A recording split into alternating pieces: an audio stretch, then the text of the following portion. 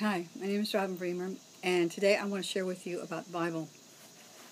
Some people want to dispute the Bible and, and say that uh, it's not true or they don't know what it is. I just I just want to share with you that it what the Bible is all about basically. The Bible is the Word of God, and without having the Bible, we really don't know what the truth is. We have the Holy Spirit but the Holy Spirit is our teacher and our guide and bring to our remembrance everything that Jesus said. But it, we have to take the Bible and we have to take what the Holy Spirit says and we have to balance them out. And both of them will always point toward Jesus. So let me just kind of share with you what the Bible is all about. Basically, the Bible is about covenant, a covenant relationship.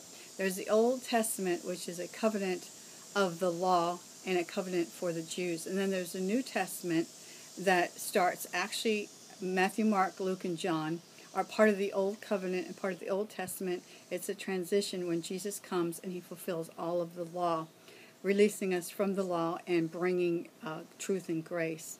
And so we have a new covenant, and in the new covenant we have promises. And the Bible is all about that covenant. It's like a marriage covenant between God and his bride, Jesus and his bride, us. And a covenant is a blood signed agreement and the blood is from Jesus, and Jesus is the blood sign agreement. And also, the covenant has promises to it. And if you don't read and study your Bible, you won't know what promises you have available to you.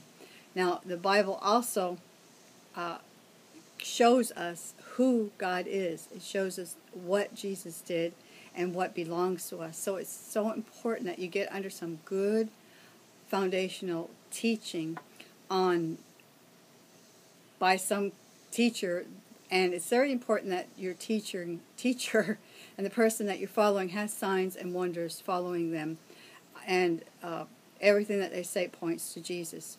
If they don't have signs and wonders following them it's just a dead religion it's just nothing. The bible points out that those who believe will have signs and wonders following them and so it's so important to believe the Word of God and believe the things that Jesus said, that those who believe these signs will follow them. They'll heal the sick, cast out demons, devils, cleanse leopards, and raise the dead, and so on.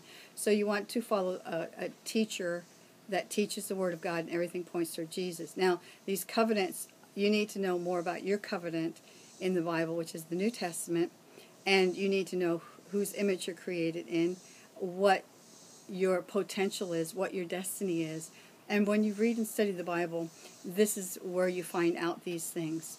You learn how to do warfare. You learn what uh, Jesus paid for you to have. You learn how you're created in His image.